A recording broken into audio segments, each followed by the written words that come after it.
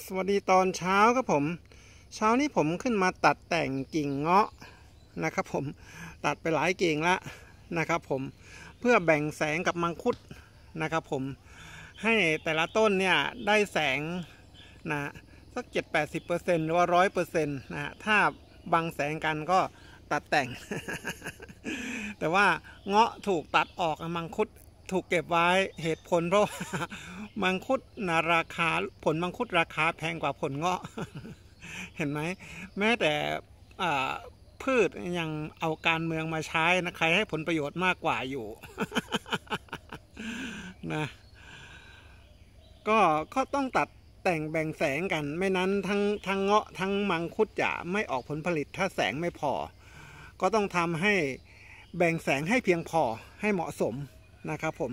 เดี๋ยวก็ตัดออกแล้วก็เอากิ่งไปทำฟืนอีกครั้งหนึ่งนะฮะ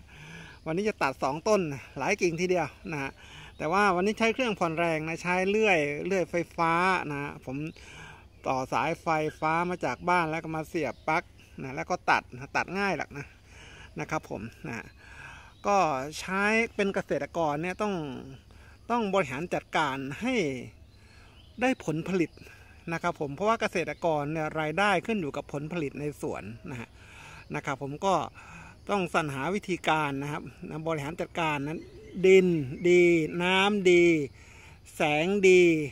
ลมพัดดีนะครับผมตอนนี้กำลังแบ่งแสงเพื่อให้เกิดฟาร์มดีที่เหมาะสมครับผม สวัสดีครับผม